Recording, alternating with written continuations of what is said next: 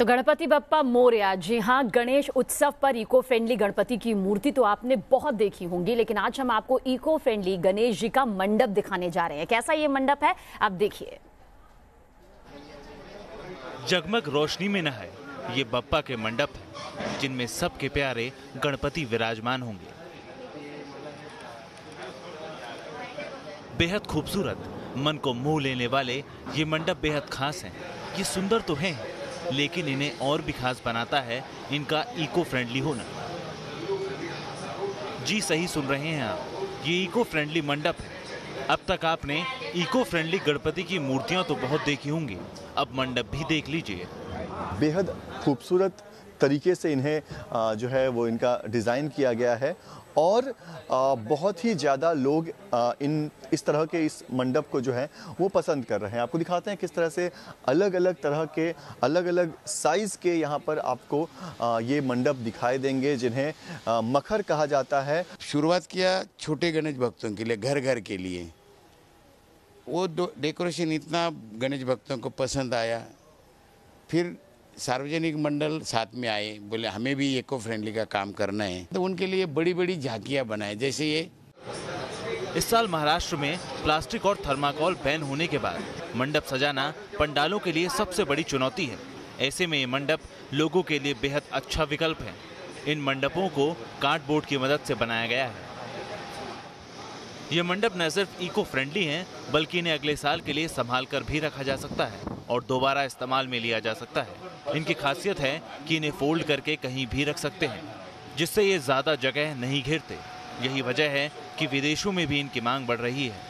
मुंबई से Pankaj Mishra, team News Nation.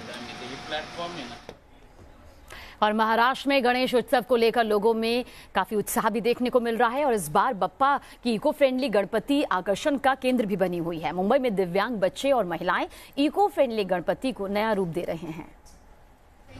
नन्हे नन्हे हाथों से बापा की मूर्तियों को अपनी कारीगरी से भव्य रूप देते ये बच्चे बेहद खास हैं। इको फ्रेंडली गणपति बना रहे ये बच्चे दिव्यांग हैं। इन बच्चों के साथ दिव्यांग महिलाएँ भी हैं। जो गणपति की मूर्ति में जान डालने का काम कर रही हैं। ये स्पेशल चिल्ड्रन एक दिन में 10 से 12 गणपति की मूर्तियाँ बना लेते हैं।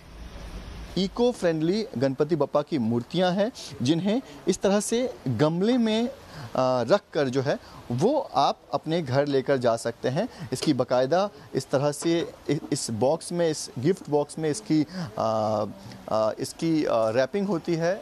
और उसके बाद सबसे ख़ास बात यह है कि गणपति बप्पा को विसर्जन करने की कोई ज़रूरत नहीं है। जब ये गमले में होते हैं, उस गमले में आप अगर हर रोज़ पानी डालेंगे तो बप्पा की मूर्ति के साथ जो है, वो तुलसी के सीड्स जो हैं, वो भी अंदर डाले गए हैं। यानी कि अपने आप इस गमले में तुलसी का पौधा जो है, वो कुछ दिन बाद जो है, वो अपने आप निकल कर आएगा।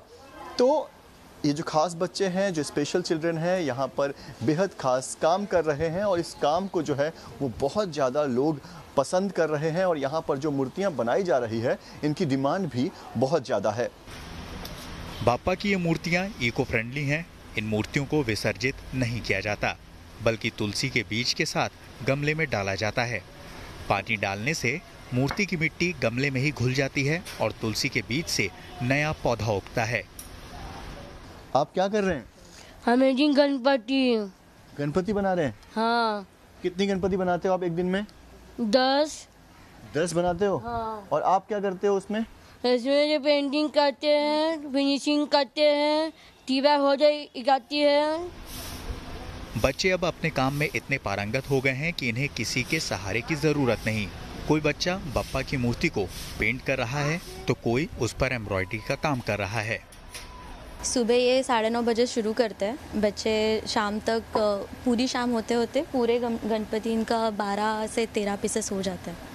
और क्या अब इनको इंस्ट्रक्शन की ज़रूरत पड़ती है? क्योंकि अब ये काफ़ी परफेक्ट हो गए हैं काफ़ी दिनों से ये काम कर रहे हैं। थोड़ी थोड़ी कभी कभी पड़ती है लेकिन नहीं देखेंगे तो भी इनके ऊपर पूरा डालेंगे काम तो भी ये लोग कर लेते हैं अच्छे से। हमने गणपति जब शुरू किया करने के लिए तो उसी समय हमने सोच लिया था कि हम इन्वायरमेंटल फ्रेंडली करेंगे। तो Om creations trust is the first in south Bombay to atleast make eco friendly Ganpatis इन तस्वीरों को देखने के बाद ये तो कहना ही पड़ेगा कि इन स्पेशल बच्चों की शारीरिक कमज़ोरी भी इनके राह का रोड़ा नहीं बन पाई। Pankaj Mishra, News Nation, Mumbai. और खबरें आगे भी जा रही हैं, लेकिन जाते जाते आपको बता दें कि खबरों को और विस्तार से जानने के लिए आप न्यूज़ नेशन की वेबसाइट www.newsnation.in पर लॉगिन कर सकते हैं। हमारे फेसबुक पेज से भी आप जुड़िए न्यूज़ नेशन के यूट्यूब चैनल को भी आप ज़रूर सब्सक्राइब करिए। हर ज़रूरी खबर के लिए न्यूज़ नेशन के ट्विटर हैंडल को भी फॉलो आप करिएगा। पल पल की ताज़ा अपडेट पाने के लिए आप हमारा ऐप भी डाउनलोड कर सकते हैं। तो बने रहिए न्यूज़ नेशन के साथ, क्योंकि यहाँ खबरों का सिलसिला कभी नहीं थमता।